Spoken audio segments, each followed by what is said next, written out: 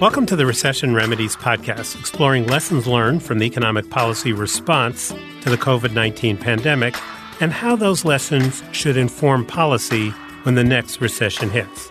I'm David Wessel. In response to the pandemic, the federal government provided about a trillion dollars to state and local governments. My colleague Louise Sheiner did the chapter on aid to state and local governments for our Recession Remedies book, a joint venture of the Hutchins Center and the Hamilton Project at Brookings. Louise joins me today to talk about why Washington sent so much money to state and local governments, whether we overdid it, and what state and local governments did with the money. You can read her chapter and the whole book at brookings.edu slash recession remedies. So, Louise, there's, for good reason, a lot of focus on what Congress does, the federal budget, the Federal Reserve, but your chapter focuses on state and local governments. So, why is that something we should think about? How big a factor are they in the economy? So, the state and local sector is actually quite a large sector of the economy.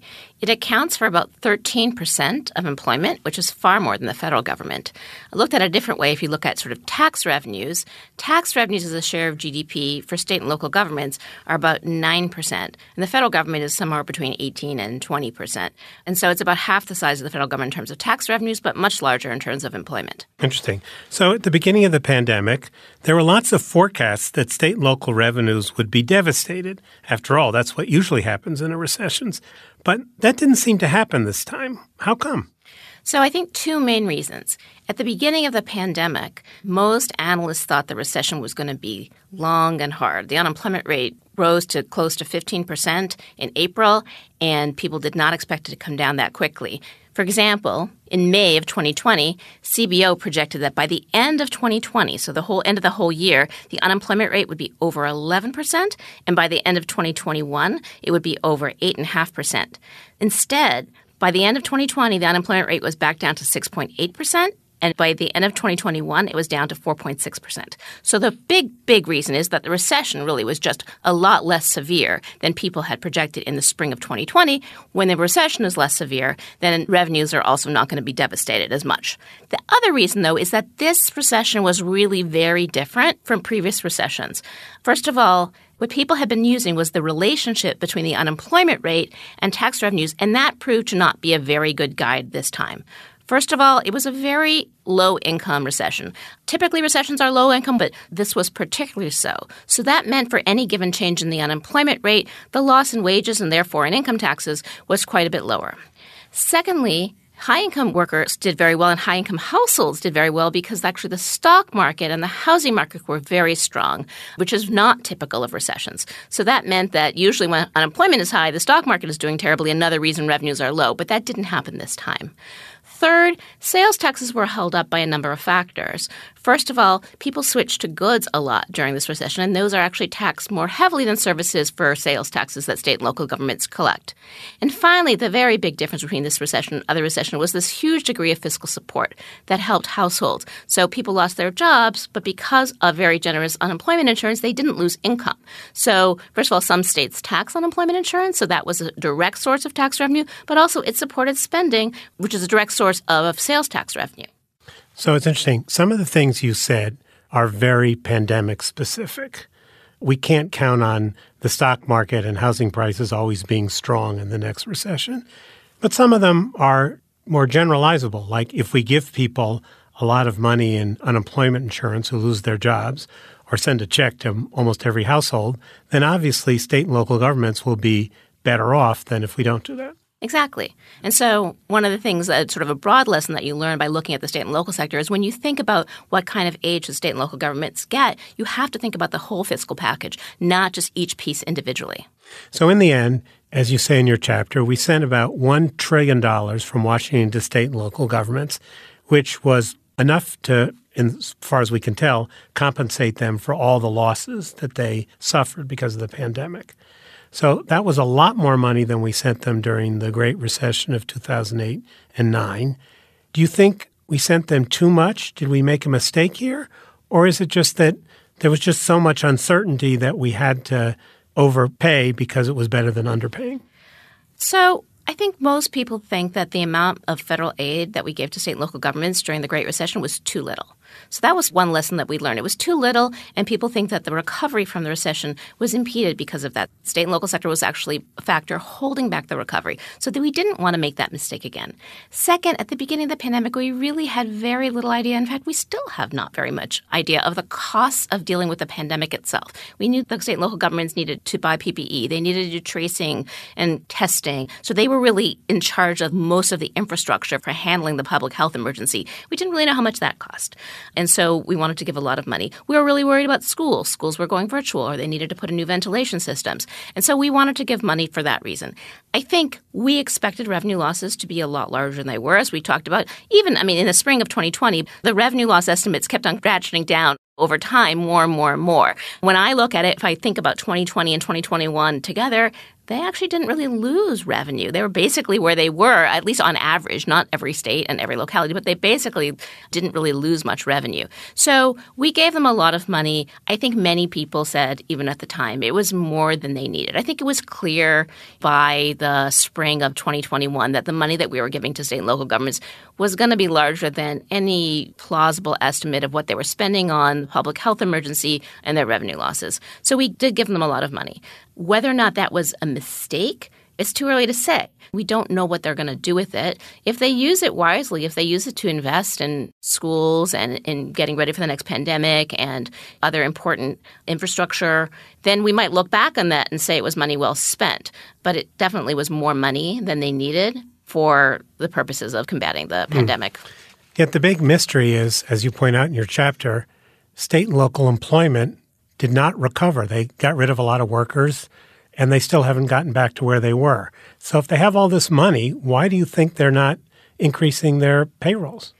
So, yeah, that is the big mystery or the big irony, which is that one of the reasons we gave them so much money so that they wouldn't lay off a lot of workers. And what happened? They still did. I spent a lot of time in the chapter trying to sort of answer that question. I'm not sure I quite have an answer, but I, you know, there's some things I learned. First of all, I learned a lot of my hypotheses didn't really show up in the data. So I looked at things like, well, maybe the states that really were scarred from the Great Recession, that they had lost a lot of revenues, were the ones who cut employment more. No. Maybe the ones that sort of were projecting very big losses or that were oil states or tourism states who actually did suffer more, but again, it would cut more employment. No. So a lot of the things that I looked at really didn't pan out.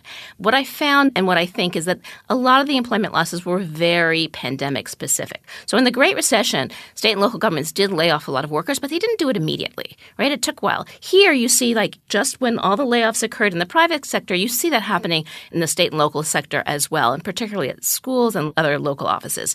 And so I think what happened was basically they shut down. They shut down the schools, they shut down their offices, and they sent people home. They didn't need bus drivers, they didn't need cafeteria workers. And so they laid off a lot of people at the beginning of the pandemic. As the pandemic went on, one of the things that I find is one of the predictors of whether or not sort of employment recovered faster or not from those losses were the attitude towards COVID itself. So states where people were quite concerned about COVID, and the way I measure that is by vaccination rates. So, states with high vaccination rates had longer lasting reductions of state and local employment. And I think that's because they didn't move right away to opening up offices and opening up schools. And also, like when you're really worried about how I'm going to convert everything to virtual, it's not a time where you're sort of focused on hiring, right? So I think that's part of it. And then what happened is so they got a lot of money and schools were all open and offices were open and they wanted to hire. You could see that in the job openings. But what had happened by then is that private sector wages, especially at the low end, which is where they were trying to hire, had increased a lot and state and local governments did not keep up with that. So everybody's been having trouble hiring, but they particularly had trouble hiring because their wages just were not keeping pace. So I think at first they didn't want to hire because of the pandemic. And then when they wanted to hire, they couldn't. I do find some evidence of things related to budgets having an effect on employment. For example, some governors announced hiring freezes right at the beginning of the pandemic because they were afraid of huge revenue losses, and they kind of let those go. They didn't say, oh, okay, we, we don't need it. We have a lot of money. I don't know exactly why that happened, but it took a long time for them to be lifted. And so you can see that effect. The states that did that definitely had lower employment in state government. Another factor that I find is if you look at local governments, the local governments that were more dependent on states for financing of their schools seem to have lower employment too. So there's like hints that money matters. But if you look at, well, the states that got a lot more money relative to their GDP or relative to their budgets, did they not have layoffs? No, they did too. It doesn't really explain it. Hmm, interesting. So, one of the lessons you draw from the chapter is if Washington's going to give states some money, let them know early on that they're going to get the money so they don't make stupid decisions or have to be paralyzed by waiting for Congress to do something. So, that's one lesson. What else would you tell policymakers when the next recession arrives, especially since it might be coming sooner than we thought when we started this project? So I think the most important lesson is the lesson not to take. I think it's important to not say, oh, well, you know, people have always said that if you give state and local governments money, they won't lay off workers. But look, we gave them a lot of money and they did. So we don't need to do that anymore. That would be the wrong lesson. I think that's why I said I really think that the layoffs are about the pandemic and that wouldn't be something that would happen in other recessions. But as you mentioned, state and local governments are not very nimble. They don't move quickly, they don't change course very quickly. They had a lot of changing course to do this time, and it was hard. So so if you want to sort of minimize layoffs, I think, as you said, or as I wrote, is if they would have the assurance that there would be aid from the federal government for as long as economic conditions warranted it. They wouldn't have to sort of forecast and say, oh my God, it might be lasting two years and I won't have any money. And so I'm going to lay off people now or I'm going to be very, very stingy now. The other benefit of doing that is that you would also right size the aid, right? So if it turned out, as it did this time, that economic conditions improved more than people had expected, you would end up giving them less money. So you mean it should be some sort of formula, automatic? Some sort of formula that's automatic, that's tied to economic conditions. Another thing that I talk about is there's some evidence that when you give money directly to local governments, you're going to get a faster response in terms of hiring and spending, which makes sense. It takes time if you're going to give money to a governor for it to trickle down to the local governments. And in the ARP, they the American Rescue Plan, the American Rescue Plan, this 2021, the Biden administration's first big major legislative achievement they changed the way they gave aid to governments to do much more direct to local governments. So I think everything that can get money to state and local governments quickly and to have them know that it's coming will help prevent layoffs. One more thing. This time around, the Federal Reserve played a role. It helped the municipal bond market. Was that a good idea? Did it work? Should it be repeated? So, at the beginning of the pandemic, there was a lot of trouble in the municipal bond market, and it was basically a non functioning market. And so the federal government stepped in for the first time to actually directly lend to state and local governments. It actually didn't end up making very many loans, I think just two loans. And yet it's widely viewed as having been successful. It was kind of knowing that the federal government facility existed. Lenders didn't have to worry that state and local governments wouldn't be able to pay them back because they know they could always go and borrow from the federal government and be able to pay them back. So it really normalized the market very quickly, and I think is widely viewed as quite successful. Great, thanks. So, Louise, thanks for your work on this. And for our listeners, you can read Louise's chapter and the entire Recession Remedies book at brookings.edu slash recession remedies.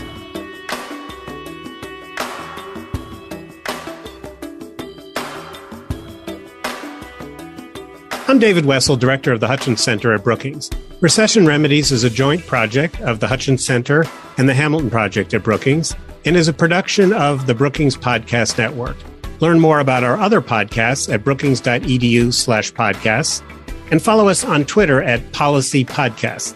You can send feedback to us at podcasts at brookings.edu. My thanks to the team that makes this podcast possible, including Fred Dews, producer, Gaston Reboredo, audio engineer, with support from Esty Griffiths, Marie Wilkin, and Caitlin Rowley of the Hamilton Project. The show's artwork was designed by Ann Fogarty, and promotional support comes from our colleagues in the Brookings Communications Department and from the Hamilton Project and Hutchins Center staff.